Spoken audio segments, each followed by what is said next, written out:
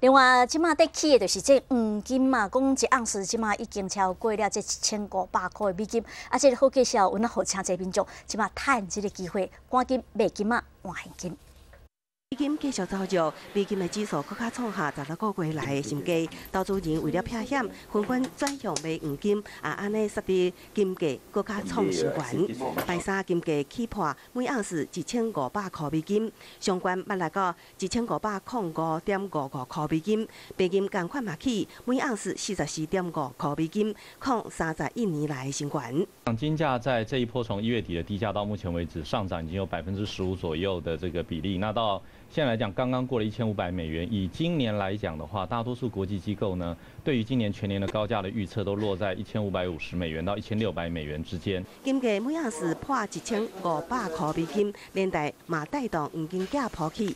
台湾银行黄金价破每公克挂牌卖出价嘛，骑上新台票一千四百十块，创黄金价破的新关价。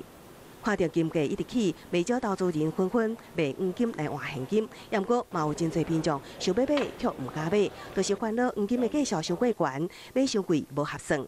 我有钱啊，我有钱不买黄金，为什么？太贵了。那现在黄金涨那么。